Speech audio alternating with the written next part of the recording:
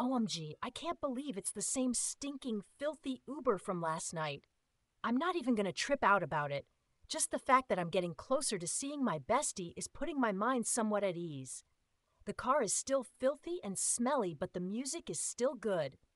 I just zoned out until we arrived at my bestie's house. After 10 minutes of singing in the back seat, we finally pulled up to my bestie's house. I gladly hopped out of the Uber and told the driver to wait for me. I get to the front door and start banging on the door in both anger and excitement, screaming for my bestie to come and open up the door, calling her from the window and everything.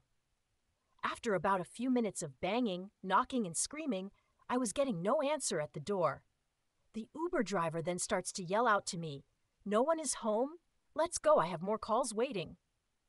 Obviously, he was rushing me, so I hopped back in the Uber and we proceeded to go to the address from last night this car is making me so sick, I think I'm going to throw up.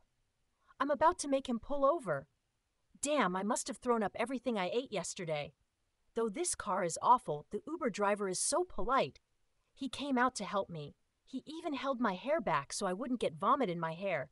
He also gave me a bottle of water. I feel so bad because I was prejudging just because his car is filthy. He's a nice guy. Maybe I owe him an apology, but not today. Right now, I am on a mission. Here we go again, two minutes away from the address, and I'm starting to get more anxious and nervous. Here we are. But wait, is that who I think it is? Tell me that is not my ex boyfriend Brian, standing outside talking to that bimbo sir talk a lot from the mall yesterday. Oh, yeah, he definitely has some explaining to do. I'm inside the house now, but I jumped out of that Uber as if it was on fire. Maybe it wasn't actually on fire, but I sure do know that I certainly was. I approached both losers and asked what is going on here and where the hell is my bestie?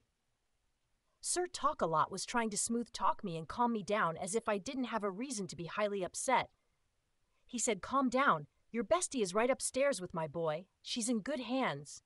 He then said, I see you couldn't handle those gummies yesterday. Right then and there is when I lost it. I lashed out something horrible. I punched him square in his face so hard that he fell to the ground and started snoring. That's when my ex boyfriend Brian grabbed me and shoved me into the house. Brian was yelling at me, but I was so mad I wasn't hearing a word he was saying.